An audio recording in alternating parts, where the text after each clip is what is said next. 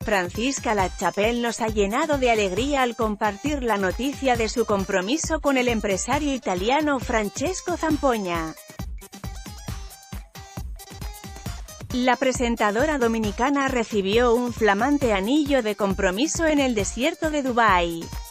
Dios mío, qué maravilloso has sido conmigo, gracias Dios, siempre has sabido sorprenderme y llenar mi vida de amor de la forma más generosa. Mi corazón está lleno de agradecimiento.